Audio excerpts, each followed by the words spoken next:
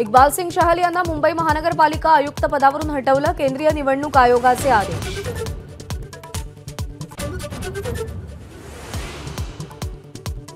बारामतीकरांना फसवणाऱ्या अजित पवारांना आपला आवाका किती हे लवकरच कळेल. मुख्यमंत्र्यांच्या भेटीनंतर विजय शिवतारेंचा अजित पवारांना इशारा.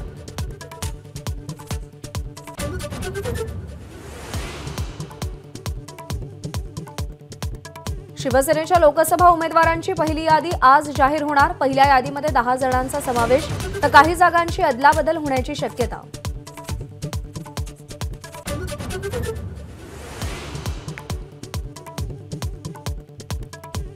महाविकास आघाडीकडे जागावाटपाचे दोन फॉर्म्युले वंचित शिवाय बावीस सोळा दहा तर वंचितसह वीस पंधरा नऊ चार असा फॉर्म्युला.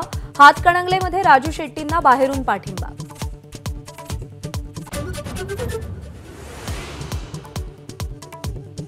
कमळ सोडून घरफोडीसाठी हातोडा हातात घ्या. वसमतमधल्या सभेत उद्धव ठाकरेंचा भाजपवर घणाघात. हिंगोली मतदारसंघ जिंकणारच ठाकरेंचा निर्धार.